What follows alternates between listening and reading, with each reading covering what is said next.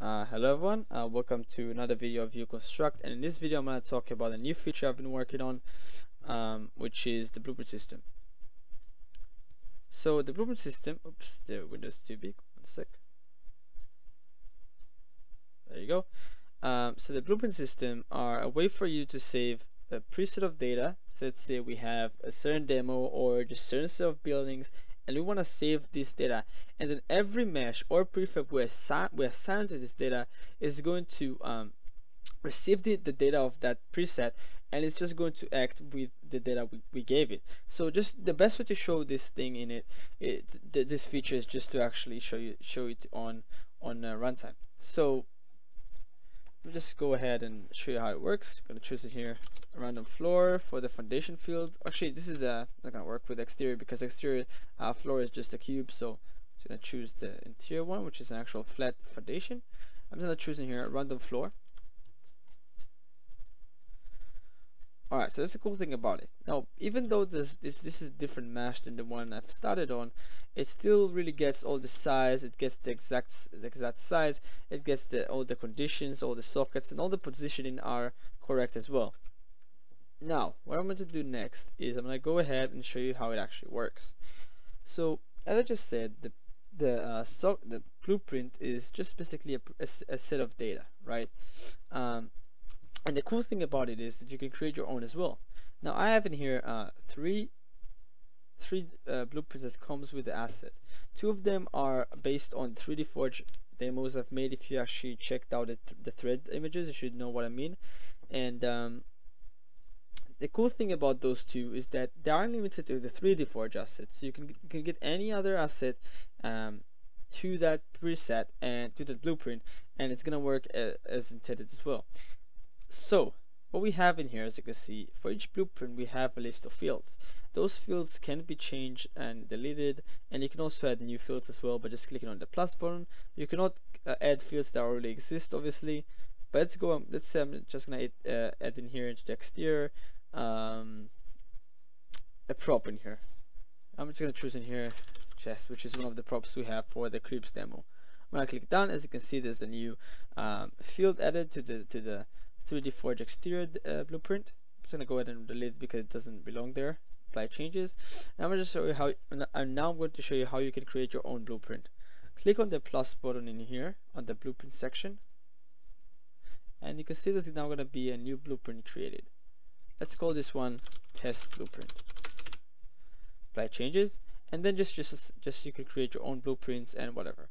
But let's say I've made a foundation here, and I chose say I know this foundation here.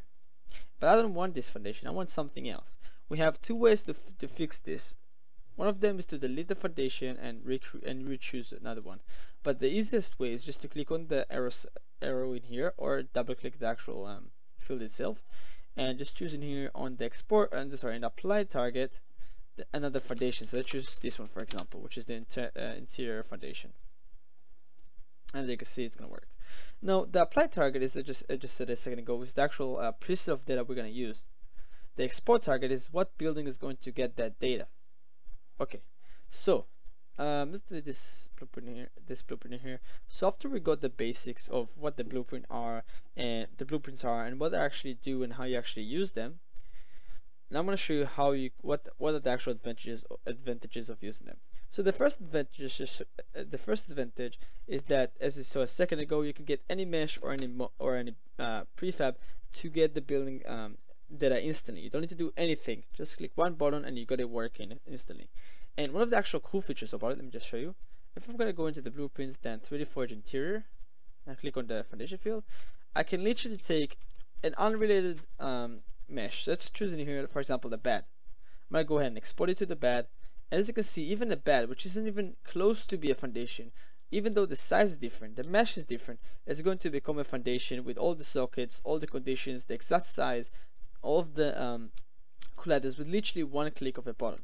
So this is really insane.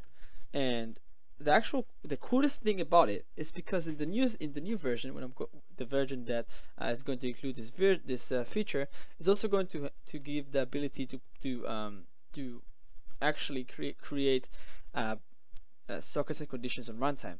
This is going to allow you to if you're going to let your player uh, create sockets and conditions on runtime, they can send it through network. But the, the best thing about this part in here is that even if you just use it for single player, you could actually create blueprint on runtime. And the, the actual amazing thing in here that because I've been using um, some uh, uh, classes that I have for the saving system, which is serializable, you could actually serialize this scripted object as well and send it over the network or you know just create it as runtime if you make a single player game.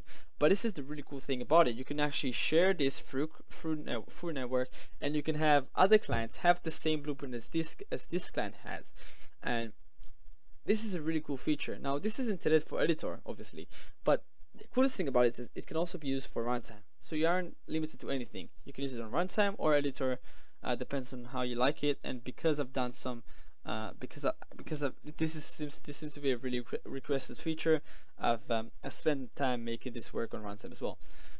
So um, yeah, that's pretty much it. If you have any more questions or more requests, I'll be sure to reply as soon as possible.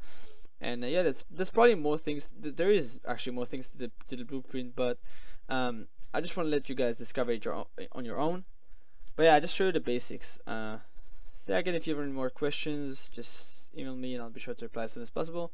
And that's it. Bye bye, guys.